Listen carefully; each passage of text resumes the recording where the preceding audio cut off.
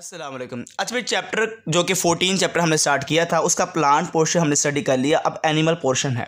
और animal portion का जो सबसे पहला टॉपिक उसका नाम है सर्कुलेटरी सिस्टम बहुत आसान और सिंपल सा टॉपिक है। सर्कुलेटरी सिस्टम एक ऐसा सिस्टम होता है, जिसमें रैपिड मैस को फ्लो करवाया जाता है। रैपिड मैस फ्लो मतलब मटीरियल को ट्रांसपोर्ट किया जाता है। From one part to another part of body तो एक पार्ट से दूसरे पार्ट की तरफ़ rapid mass flow of material को ट्रांसपोर्ट करने के लिए, हमारी बॉडी के अंदर ये एनिमल्स के अंदर, मेरे बच्चे, क्या मौजूद होता है? सर्कुलेटरी सर्कुलेटरी सिस्टम होता है। सर्कुलेटरी सिस्टम के मेरे बच्चे तीन करेक्टर हैं। तीन चीज़ें होना लाजमी है। पहला चीज़ है सर्कुलेटरी फ्लूड है, जिसका नाम क्या बेटा? ब्लड कंट्रैक्टाइल पंपिंग डिवाइस है, जो कि हर्ट होगा और ट्यूब्स होंगे। और वो ट्यूब्स को कहते हैं बेटा ब्लड वेसल्स। ब्लड वेसल्स के दो काम होते हैं। पहला काम क्या होता है? ट्रांसपोर्ट करना किसको?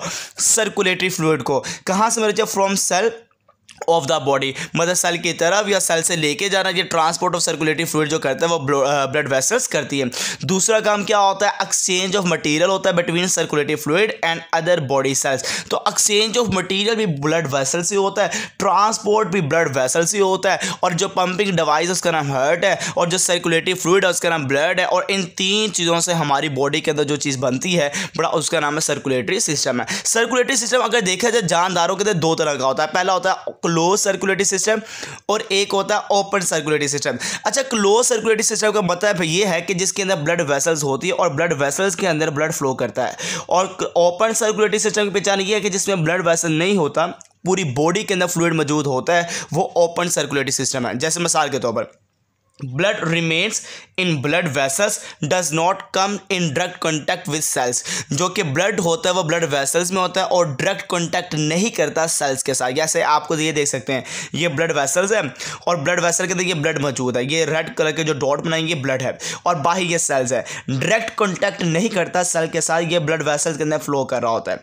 यहाँ पे blood comes out of vessels come in direct contact with cells और ये सेल्स के साथ जो ब्लड है, ये डायरेक्ट कॉन्टैक्ट करता है, ये ओपन सर्कुलेटरी सिस्टम की पहचान है। ये जो क्लोज सर्कुलेटरी सर्कुलेटरी सिस्टम है, ये वेल डेवलप एनिमल्स के अंदर होता है। और जो ओपन सर्कुलेटरी सिस्टम है, ये जितने भी प्रिमेटिव एनिमल्स है, पुराने ज़माने के जो सबसे पहले इवोल्यूशन से बने हैं, उनके अंदर देखा गया ओपन सर्कुलेटरी सिस्टम को। जैसे मिसाल के तौर पर, अगर देखा जाए, जो क्लोज सर्कुलेटरी सिस्टम है, इसके पास इंटरकोनेटिक सिस्टम होता है, जैसे आर्टरीज वेन्स और कैपिटरीज मौजूद होती हैं।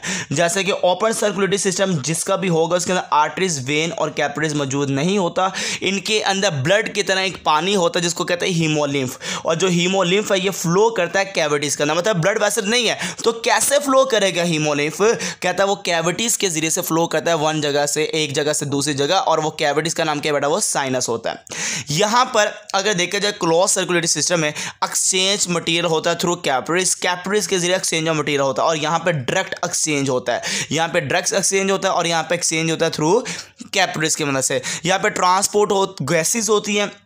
जो कि क्लोज सर्कुलर सिस्टम है, ये ट्रांसपोर्ट ऑफ़ गैसेस भी करती हैं, जो ओपन है, ये ट्रांसपोर्ट ऑफ़ गैसेस नहीं करती। जो क्लोज सर्कुलेटरी सिस्टम रखते हैं, उसके सिस्टम के अंदर हीमोग्लोबन मौजूद होता है, और यहाँ पे कोई भी रेस्पिरेटरी पिगमेंट नहीं होता। जो क्लोज सर्कुलेटरी सिस्टम ये एडवांस है बेटा एफिशिएंट है, और जो ओपन है, ये प्रिमिटिव है और लेसर एफिशिएंट है। ये आपको क्लोज कहाँ पे नज़र आता है? एनालिडा के पास फैलोपोडा के पास इकानोडामेटा के पास हेमिकोडेटा के पास वर्टिब्रेटा के पास और जब के ओपन सर्कुलेटरी सिस्टम आपको नज़र आता है आर्थ्रोपोडा के पास मुलस्का के पास ट्यूनिकेटा के पास। ये जो मेरे बच्चे मैंने बताए हैं सारे के सारे ग्रुप्स, ये सारे के सारे ओपन रखते हैं और ये बेटा कौन सा रखते हैं? क्लोज अगर देखा जाए क्लोज की कोई एग्जांपल जो बहुत ज़्यादा इंपॉर्टेंट जो हमारी बुक में मेंशन बेटा उसका नाम है अर्थवॉर्म और कोई ऐसी ओपन की एग्जांपल जो हमारी बुक में मेंशन उसका नाम है कॉकरोच अच्छा अर्थवॉर्म के पास ना दिल मौजूद है, मगर वो दिल एक नहीं होता, बेटा इश्क करने वाला अर्थवॉर्म है। इसके पास एक दिल नहीं है, मजनू बाबा है। तो इसके पास फोर से फाइव पेयर्स जो कि लेटरल हर्ट होता है, जो प्रेजेंट होता है लेटरल साइड वाली जगह पर। किसकी साइड पर बेटा? एसोफेगस जो खुराक की नाली, उसके साइड पर मौजूद होते हैं चार से पाँच पेयर्स ऑफ़ लेटरल हर्ट और मेरे बच्चे कहाँ मौजूद होते हैं? सातवें या तेरह सेगमेंट्स के अंदर। मतलब कि जो अर्थ अर्थवॉर्म है इसकी बॉडी सेगमेंटेड होती है, इस तरह। ये सेगमेंटेड फॉर्म में होती है, ऐसे सेगमेंट फॉर्म में। और सातवें से तेरहवें सेगमेंट के अंदर दिल इसका मौजूद होता है, जो पेयर की फॉर्म है, चार से पाँच पेयर्स हैं, और जो कि मौजूद होता है lateral side of oesophagus cockroach उससे बड़ा आशिक है, मजनू बाबा है, इसके बाद तेरह चैम्बर वाला हर्ट होता है। मतलब इसके बाद जो दिल है उसके कितने खाने मेरे बच्चे? तेरह खाने हैं। तो जो तेरह खानों वाला दिल रखता है बड़ा, उसका नाम है कॉकरोच है। अगर देखा जो अर्थ वॉम है, इसके बाद मेरे बच्चे कुछ ब्लड वेसल्स हैं। एक का नाम डोर्सल है, एक का नाम वेंट्रल है, एक का नाम सब न्यूरल ब्लड वेसल्स है। जबकि कॉकरोच के पास एक ब्लड वेसल होती है, उसका नाम मिड डोर्सल ब्लड वेसल आपको नज़र आती है, मिड डोर्सल ब्लड वेसल्स। जैसे कि देख रहे हो, कॉकरोच के अंदर ब्लड फ्लो कैसे करता है, जैसे आपने गौर से सुनना बेटा, इसका जो ब्लड फ्लो होता है फ्रॉम हर्ट सबसे पहले दिल से निकलता है और जाता है अरोटा के पास। अरोटा मतलब दिल की एक बड़ी नाली है अरोटा के पास जाएगा। अरोटा से वो जाएगा हीमोसील, एक कैविटी का नाम है, जो कि किसकी कैविटी है बेटा? ब्रेन की। तो चला जाता है अरोटा से ब्लड, कहाँ पे? हीमोसील हेड के पास।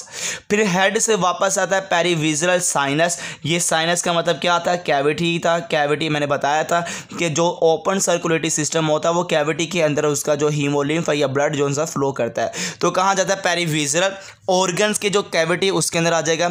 कैविटी उसकी ऑर्गन्स की कैविटी के बाद वो चला जाता है perineural sinus perineural sinus का मतलब क्या है? जो नर्वस सिस्टम है नर्वस सिस्टम की जो कैविटी उसके पास चला जाता है।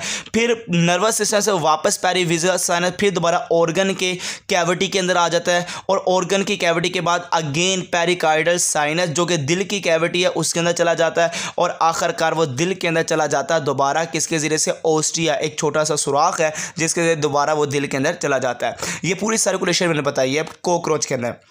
कि ब्लड दिल से अरोटा अरोटा से हिमोसिल हेड हेड से कहाँ पेरीविजुअल साइनस पेरीविजुअल साइनस से कहाँ पेरीन्यूरल साइनस पेरीन्यूरल साइनस से पेरीविजुअल साइनस अगेन फिर पेरिकार्डियल साइनस और आखिरकार कहाँ पहुँच गया, दिल के पास चला गया दोबारा ऑस्ट्रिया की ओपनिंग ऑस्ट्रिया पोर को कहते हैं, छोटा सुराख है, जो कि दिल का सुराख, जो कि इसके दिल के सुराख के पास होता है, छोटी सी पोर है उसके ज़रिए से वो दिल के अंदर चला जाता है। अब आते हैं बड़ा किसके पास? अर्थवॉम के पास। ये अर्थवॉम की सेगमेंटेड बॉडी है। एक, दो, तीन, चार, पाँच छः करते करते मैंने फोर्टीन सेगमेंट बना दिए। ये अंटीरियर साइड है और ये पोस्टीरियर साइड है। तीन ब्लड वेसल्स हैं डोर्सल वेंट्रल सबन्यूरल बहुत इंपॉर्टेंट पॉइंट है मेरे बच्चे, गौर से सुनिएगा। डोर्सल वेसल क्या करती है? पोस्टीरियर से ब्लड को पकड़ती है यहाँ से। 14 सेगमेंट से पकड़ती है और उसको लेके जाती है सारे के सारे ब्लड को कहाँ पे? अंटीरियर की तरफ़। ये किसका काम है? डोर्सल वेसल का। मतलब ये कलेक्टिंग ब्लड वेसल है इन फोर्टीन सेगमेंट चौदहवें सेगमेंट से ब्लड को कलेक्ट करती है और डिस्ट्रीब्यूट करती है ब्लड वेसल को फ़र्स्ट थर्टीन सेगमेंट ये पहले जो थर्टीन सेगमेंट यहाँ पे डिस्ट्रीब्यूट करती है। Send blood to heart and anterior end of body यही मैंने बताया कि ब्लड को यहाँ से उठाएगी और कहाँ पर लेके जाएगी? अंटीरियर एंड की तरफ़ हर्ट की तरफ़ लेके जाएगी।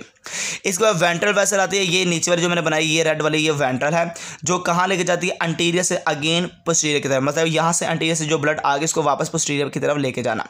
ये डिस्ट्रीब्यूटिंग ब्लड वैसल है विद बैकवर्ड फ्लो ये पीछे की तरफ़ लेके जाती है बैकवर्ड फ्लो की तरफ़। फ्लो ऑफ़ ब्लड इस बैकवर्ड के पीछे की तरफ़ लेके जाते हैं मतलब एंटीरियर से पोस्टीरियर की तरफ़। एक सब न्यूरल थी, सब न्यूरल कौन सी होती है? कुलेक्टिंग ब्लड वेसल्स है। ये भी ब्लड वेसल कलेक्ट करती है और यहाँ पे ब्लड देखा जाए बैकवर्ड फ्लो करता है और यहाँ पे अगर सबसे इंपॉर्टेंट पॉइंट वो ये है कि ये जो सब न्यूरल ये कम्युनिकेट करती है डोर्सल ब्लड वेसल के साथ थ्रू लेटरल वेसल या क्यूम्यूजरल कम्यूजरल कम्यूजरल ठीक है? लेटर वैसे के ज़रिए से। तो ये कम्युनिकेट करती है डोर्सल ब्लड वेसल के मतलब इसके साथ इसका कम्युनिकेशन होता है। मतलब जिसके ज़रिए होता है, उसका नाम है लेटरल वेसल के ज़रिए से। ओके बेटा, अल्लाह हाफिज़। तो ये था टॉपिक जो कि हमने आज डिटेल में पढ़ा, जिसका नाम क्या है बेटा? ब्लड वेसल्स है। सर्कुलेटरी सिस्टम के लिहाज से हमने पूरा का पूरा सिस्टम पढ़ा ओपन और क्लोज हाँ आगे इन इसी तरह से एनिमल पोर्शन अपलोड होता जाएगा। प्लांट पोर्शन सारा अपलोडेड है। पूरे के पूरे चैप्टर अपलोडेड है। आप जाके देख सकते हैं। प्ले को ओपन कीजिएगा सारे लेक्चर मिल जाएँगे। अब जो एडिबल पोर्शन है, ये इन डे बाई डे करके इसका डेली जो लेक्चर है वो अपलोड हो जाएगा। ओके भाई अल्लाह